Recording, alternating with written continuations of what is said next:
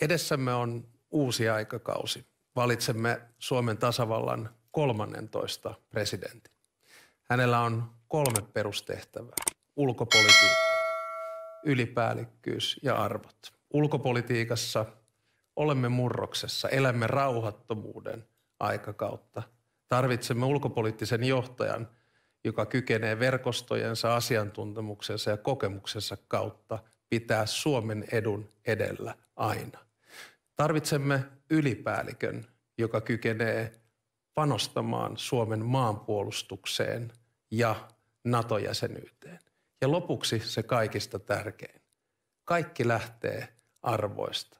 Siitä, että Suomen tasavallan presidentti kykenee välittämään rauhaa, luomaan paremman tulevaisuuden meille kaikille suomalaisille niin, että Suomi on kuuden vuoden jälkeen edelleen maailman paras maa elää ja asua. Ja me kykenemme tämän tekemään nimenomaan yhdessä siten, että ajamme aina Suomen etu edellä yhdessä.